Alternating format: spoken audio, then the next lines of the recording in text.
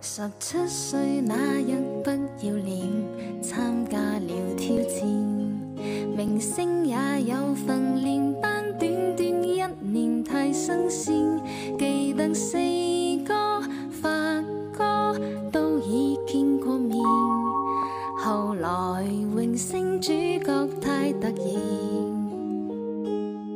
廿九岁颁奖的晚来听我唱段情歌一曲，歌词太经典。我的真音假音早已太熟练，然而情歌总唱不